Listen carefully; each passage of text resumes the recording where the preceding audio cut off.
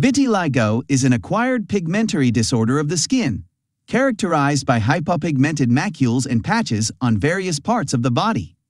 It is a progressive disorder in which melanocytes of the affected skin are selectively destroyed, resulting in subsequent hypopigmentation. Vitiligo affects approximately 0.5 to 2% of the population. The usual age at onset is 20 years. Even though the exact cause of vitiligo remains unknown, current evidence suggests an autoimmune origin. Patients with vitiligo have circulating antibodies against melanocyte proteins. In addition, many autoimmune diseases are linked to vitiligo, including Hashimoto thyroiditis, Graves' disease, inflammatory bowel disease, Addison disease, diabetes mellitus, alopecia areata, pernicious anemia, psoriasis, and autoimmune polyglandular syndrome.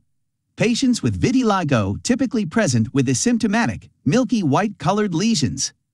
These lesions are well demarcated and can be round, oval, or linear in shape.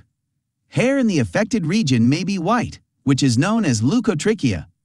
Face, neck, forearms, feet, dorsal hand, fingers, and scalp are the commonly affected sites.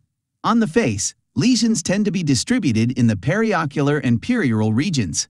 Lesions may also occur in regions frequently subjected to trauma, such as bony prominences, elbows, and knees, which is known as Koebner phenomenon. Various types of treatment options are available for vitiligo. Some of these include phototherapy, laser therapy, medical care, and surgical care.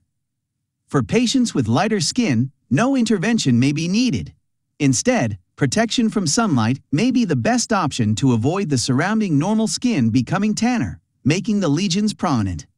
Medical care of vitiligo includes topical steroids and topical calcineurin inhibitors such as tacrolimus.